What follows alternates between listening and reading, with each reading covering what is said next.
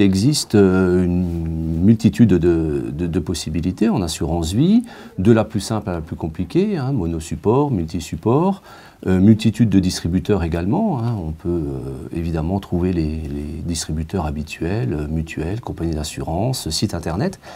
Et aujourd'hui, finalement, chacun cherche un petit peu à comprendre le produit auquel il s'apprête à souscrire et savoir si c'est toutefois le produit qui lui correspond le mieux.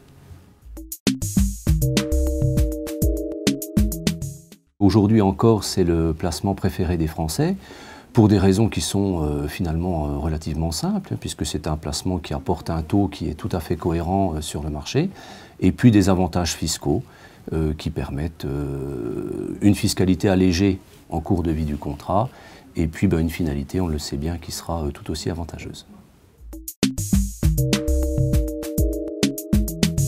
Ben, mon conseil finalement, il est relativement simple.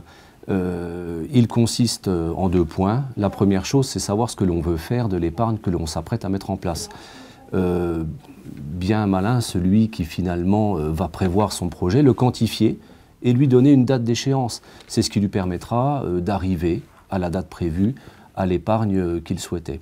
Un autre conseil peut-être, c'est de faire attention à l'entreprise à laquelle on s'apprête à faire confiance. Depuis quelques années maintenant, on se rend compte qu'au-delà du taux de rendement euh, largement euh, affiché sur, euh, sur les vitrines des professionnels ou même sur les sites internet, eh bien, on fait très attention à la santé de l'entreprise.